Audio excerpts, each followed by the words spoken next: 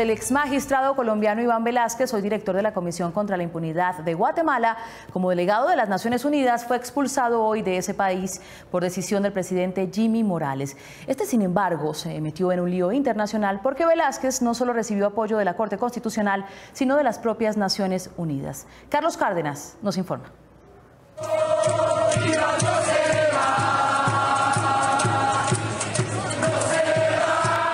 Manifestaciones cívicas, Guatemala expresó su apoyo al jurista colombiano Iván Velázquez, quien hace varios años se desempeña en esa nación centroamericana como el honroso director de la Comisión Internacional contra la Impunidad, CICIG.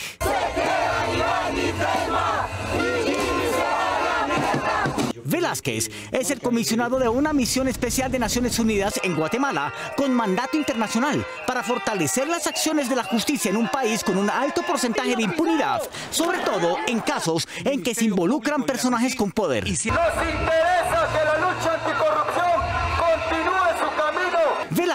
Que goza de inmunidad diplomática por ser enviado del secretario general de la ONU, tiene buena fama en Guatemala desde cuando hace dos años investigó una red que desfalcaba la aduana nacional a punta de sobornos y descubrió que de ese grupo delictivo hacía parte el presidente de la República, Otto Pérez Molina, quien tuvo que renunciar.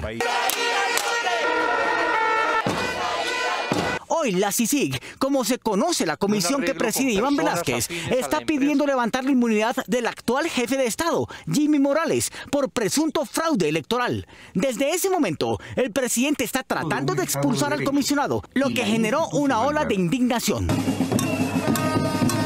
y también una ola de respaldo internacional. Hubo una declaración oficial del portavoz del Alto Comisionado de Derechos Humanos de Naciones Unidas en que reitera la confianza de la ONU en el trabajo de la comisión bajo la dirección de Iván Velázquez.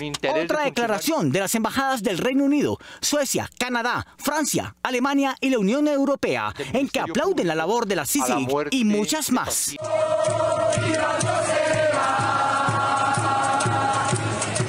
Pese al respaldo de los organismos internacionales, de las misiones diplomáticas y de los guatemaltecos, el presidente Jimmy Morales, sucesor del destituido Pérez Molina, anunció su decisión de expulsar al comisionado Velázquez. Y en el ejercicio de mis facultades constitucionales, como presidente de la República, por los intereses del pueblo de Guatemala, declaro non grato al señor Iván Velázquez Gómez en otras palabras, Morales expulsó al comisionado colombiano de su país y pidió que saliera hoy mismo de Guatemala.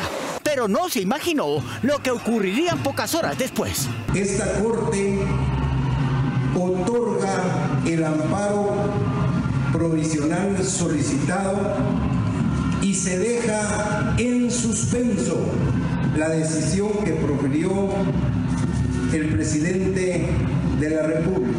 La Corte Constitucional guatemalteca se reunió y poco después del anuncio presidencial suspendió la orden de Morales temporalmente mientras decide si hay razones para expulsar a Velázquez. La crisis no solo fue judicial, también política. Amenazó con retirarse del cargo la fiscal general y renunciaron los ministros de Relaciones Exteriores, Salud, Trabajo y el comisionado para la Vivienda y Puertos, uno de los más cercanos amigos del presidente. En las calles hubo más protestas. Mañana se desarrollarán nuevos hechos en medio de un clima de alta tensión.